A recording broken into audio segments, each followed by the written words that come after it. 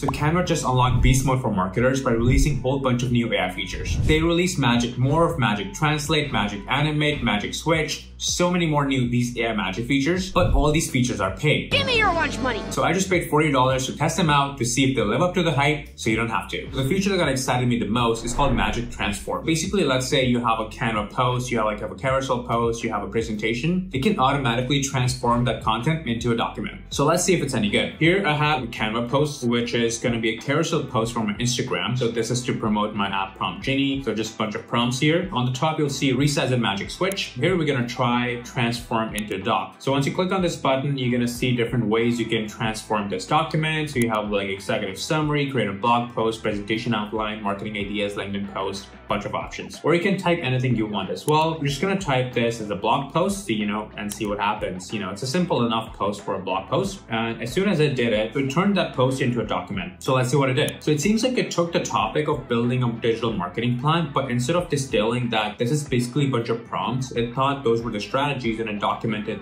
that accordingly. So it's not the best result, not what I wanted, but you know, still a good start for this tool. So let's try this one more time with a different document. So now here I have basically for a pitch for a startup, which was trying to build in 2019. So I have like, you know, just a whole bunch of like stuff you need for a pitch. I'm just gonna see and try to turn this into a business plan here. Again, using the same transform feature. There's much more meat in this piece of content. So this is probably gonna be better test for this feature and see if it executes well. Here I have like, you know, about 30, 30 odd slides, just a bunch of different things about that startup and now here I have a business plan. It does take some stuff off the presentations. It's retaining some of the styling. It's retaining most of the content. This is a much better job than the previous one we just tried. It's still not perfect. I feel like if I were to actually transform this into a pitch for any presentation I'm applying for, like any pitch I want to submit to an investor, I might still have to do some editing on top of the document. But as like, you know, as a starting point, as a first draft, it does a good job. So I'll probably give this like 7.5 out of 10 for this feature. They just released a feature, so I hope this gets better and it's gonna be quite game changing because it will save time. So I've done something similar already in my business where I've tried to turn like a presentation into a document or like, you know, use one format of document to rewrite another application. But hopefully this will make things a lot more easier once it gets better. So next feature is going to look at is Magic Animate. In the demo video, they showed that if you have a presentation, you have any graphic that you're building within Canva, with Magic Animate, it's going to automatically apply animation to your design. So you don't have to do animations yourself if you're trying to add more animations to your design, even for school, for work, just to kind of make things more engaging and more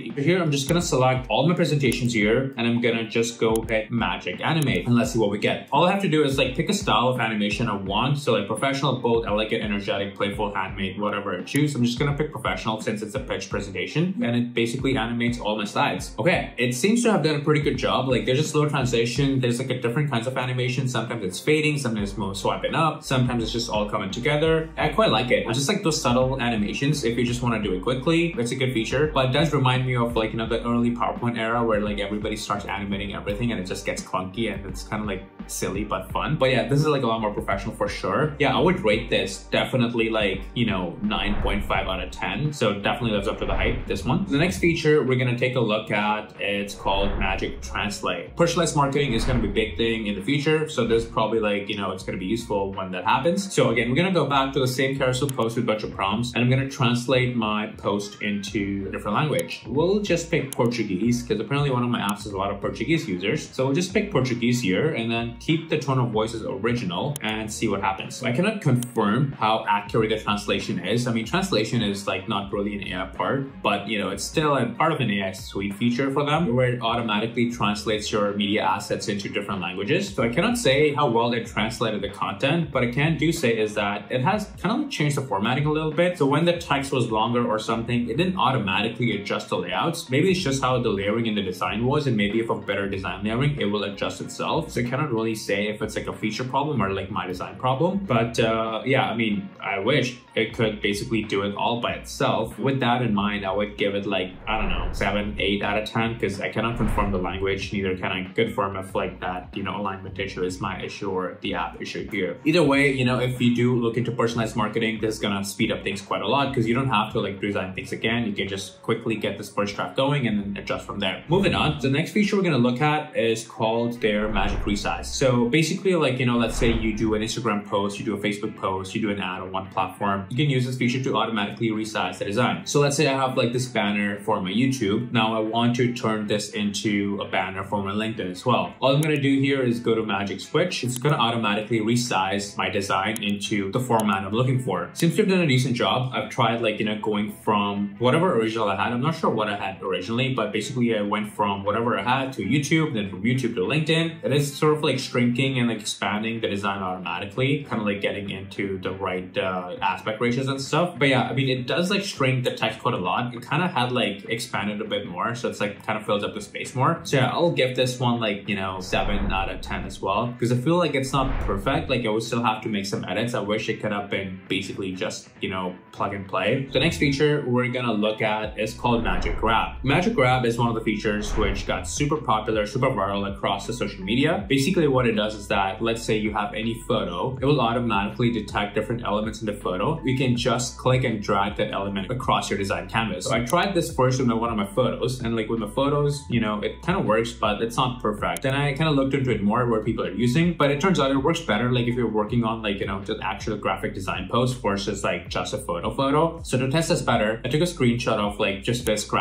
from one of the newsletters I like to read. So it's I like this design, you know, it's got a like nice quirks to it. And here we have like this chain with 7-Eleven, uh, this football player. And uh, let's say if I wanted to move this part of the design to someplace else, you know, maybe I'm repurposing my older post or maybe I'm trying to like, you know, take screenshot and like trying to experiment with some design or something. So I can use the magic grab feature and I can just select the objects or I can, you know, use the brush to select the area for what I'm trying to move. And then it's gonna like automatically grab that part of the graphic and now I can just move it around wherever I want. So let's say, you know, you're working with the team and somebody gives you a design that's just not perfect, something is misaligned. You can then extract all these different elements and move them around to make your design look better. I like this feature in this context for sure. I will give this one like 8.5 out of 10. I think it's super useful, like one of those things that you don't need until you need it. And once you need it, it's like super useful and saves so much time. And the next feature we're gonna look at is called Magic Morph. So Magic Morph is basically what's gonna change like the texture or like kind of the styling of any image or graphic that you have. I tried this out. It doesn't work with the images, but it does work with any graphics that want. We're just gonna use a simple graphic from the Canva's library. Since we're talking magic, I'm just gonna get a Genie lamp or something. So here we have a Genie lamp. I'm gonna go to apps. I'm gonna search for Magic Morph and I have the Magic Morph here. So I can just type whatever I want the newer style to look like, or I can just pick an example from the bottom here, like jewels, party balloons, pretzels, basically whatever you want. Now it turns like the design and the style of design into whatever you're describing. Here we have when I say like something magical. Here we have one with jewels. So it's quite decent. I didn't express much creativity here, but you kind of get the idea where if you have a creative idea, you want it to blend with like your brand. Maybe you're trying to do something SpongeBob themed and then you want to turn this into like SpongeBob style stuff. So you can basically turn any graphic or text into that style. So super useful if you want to try to keep things on brand or certain aesthetic you're trying to do while you don't want to spend too much time doing graphic design yourself. So yeah, these are the features I wanted to explore today, which is a part of Magic Suite, which sadly is only on the paid plan. Uh, well, you tell me, is it worth upgrading to this plan? Good question. I think it really depends on how much you use Canva and what features you want to use. If there's something you're doing for school, I'd probably say, eh, not worth it. I mean, really depends on how critically you want these features. However, if you are doing a marketing job and then, you know, you are working in agency or a freelancer, you're a content creator, feel like it might be worth it because like the amount of stuff you can do with these things is going to save so much time that those 30, 40 bucks is probably going to be worth it. But again, you know,